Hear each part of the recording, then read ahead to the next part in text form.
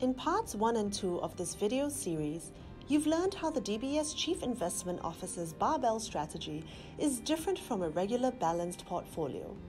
In this third and final video, we'll see how the barbell strategy has stood the test of time. To validate that our barbell strategy is resilient, we've gone back to past periods of heightened volatility. Let's first zoom in on 2008's great financial crisis.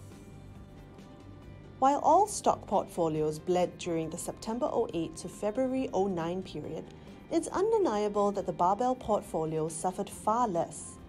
Even as the benchmark equity index plummeted 43%, the barbell portfolio fell just 14%, a drop most of us can stomach.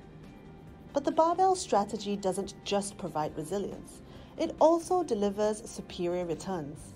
That's if, of course, investors can steel themselves to avoid selling off when markets look rough.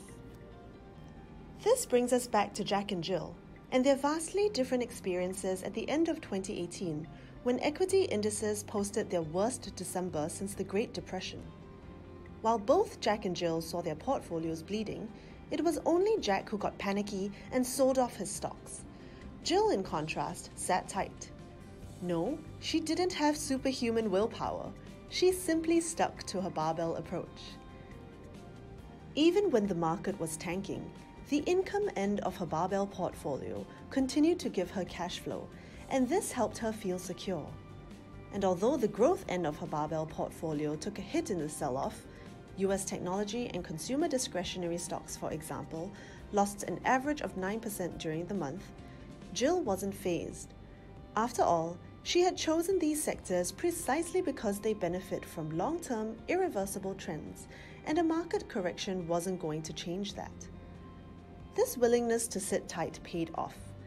In the following three months, the US technology and consumer discretionary sectors not only clawed back all they had lost in December, they actually registered average gains of 17%, which made Jill very happy indeed.